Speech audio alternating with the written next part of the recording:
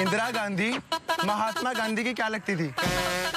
मुझे लगता है सबको लाइन में लगा के तबाड़ तबाड़ तबाड़ तबाड़ चला देनी। तो जनरेटर पे चला दो थप्पड़ एकदम। एक लीप ईयर में कितनी रातें होती हैं? हेलो एवरीवन आज की इस वीडियो में हम लोग बात करने वाले हैं रोडीज़ के एपिसोड 20 के बारे में। हम लोग डिस्कस करेंगे कि क्विज वाले टास्क का विनर कौन हो सकता है एंड देन नेक्स्ट एलिमिनेशन किसका होगा। आज का जो एंटरटेनमेंट टास्क हुआ है ना उसमें प्रिंस की गैंग जीत गई है।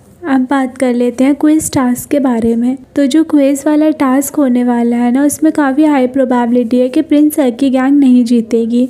गौतम या फिर रिया के गैंग में से कोई एक जीत सकता है। एंड अगर गौतम की गैंग को पेनाल्टी का सामना करना पड़ा तो रिया की गैंग इस टास्क का विनर हो सकती हैं। अब ये जो नेक्स्ट वोट आउट होने वाला है ना, ये काफ़ी ज़्यादा इंटरेस्टिंग होगा। बिकॉज़ ऑफ़ द रीज़न कि रिया और प्रिंस की अलाइंस टूटने वाली है। दोनों में काफ़ी ज़्यादा झगड़ा होगा एंड जिस वजह से जो रिया के गैंग के सारे कंटेस्टेंट्स हैं ना, वो प्रिंस के गैंग के अगेंस्ट में हो जाएँगे।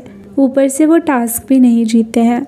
अगर इस वीक में कोई एलिमिनेशन होता है ना तो गैरी का एलिमिनेशन हो जाएगा। एंड अगर नो एलिमिनेशन ट्विस्ट आया ना तो भी नेक्स्ट वाला एलिमिनेशन गैरी का ही होगा। तो गाइज़ इस वीडियो के लिए इतना ही। होप आपको वीडियो पसंद आई होगी। And also for more updates you can follow us on Instagram and don't forget to subscribe thank you for watching